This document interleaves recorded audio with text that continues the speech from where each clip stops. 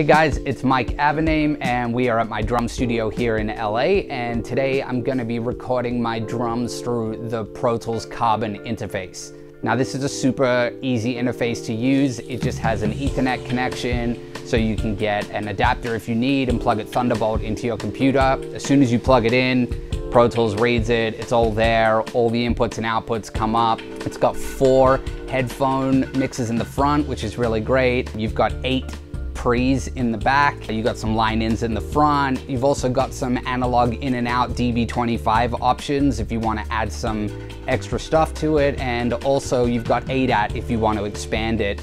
Now the coolest thing about this unit is that you can record in real time with DSP plugins. So things that you would usually use, they give you some latency. Uh, that's not there anymore. So you can record down with EQs and compressors and all sorts of effects.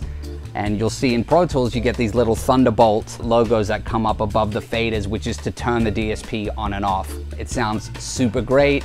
Uh, so what I'm gonna do is show you my process of what I would usually do in the analog realm, but with everything DSP through the carbon. So I'm gonna do uh, kick drum, snare drum, toms, overheads, and a mono mic just in front of the kit. And I'm gonna add in some DSP effects some EQ and compression. Then I'm gonna play along to a little track just so you can hear it in context. So let's check that out.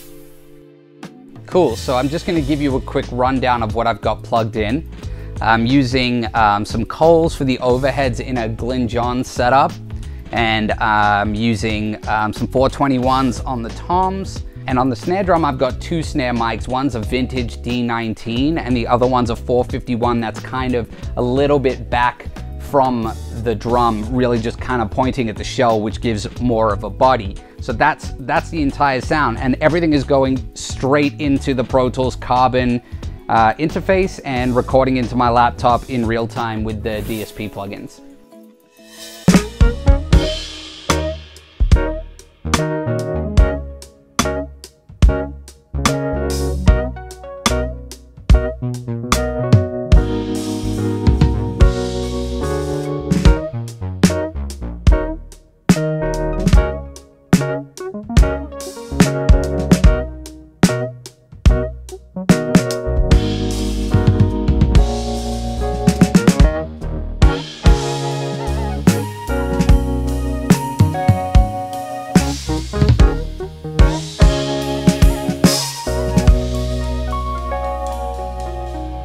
As a session drummer that's also a producer, it's really important for me to be able to get the correct vibe when I'm tracking.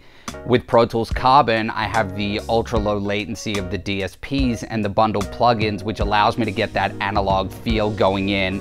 And, and most importantly, the interface just sounds amazing.